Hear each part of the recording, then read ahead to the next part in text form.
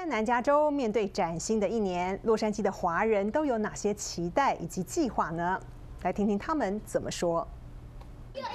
新年新希望，洛杉矶的华裔民众最大的希望是什么呢？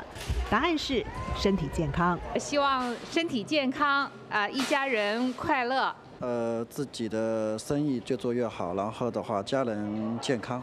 嗯，我就是希望新的一年中。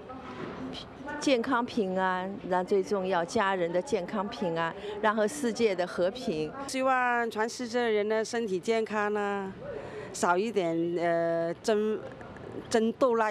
另外，民众感触最深的，要算是对美国经济复苏的期望。呃，我自己希望美国的经济早些发展起来，我们也是同样，大家都都能受益。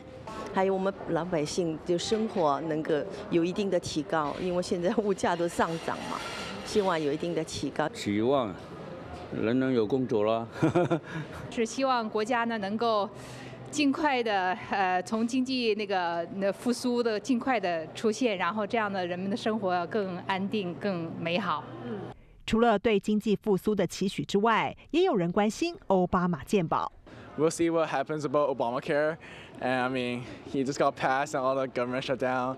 And we'll, we'll see what happens later, but I guess um, there might be some downfalls, but I guess Obama's doing pretty well. 再来，身为移民，很多人也不忘母国。我是希望美国跟中国的关系越来越好，这样呢，利于我们在外面的人。大家都能够，呃，和平相处，包括国与国之间。 而年轻的一代又有哪些新年新希望呢？Um, be healthier, healthy, stay healthy. so I guess all of our resolutions to be like work hard and don't sleep too much in class. 我现在是大学生，所以我希望能够顺利的毕业，然后在这边找一个稳定的工作。所以看来，二零一四年对华人来说是充满希望的一年。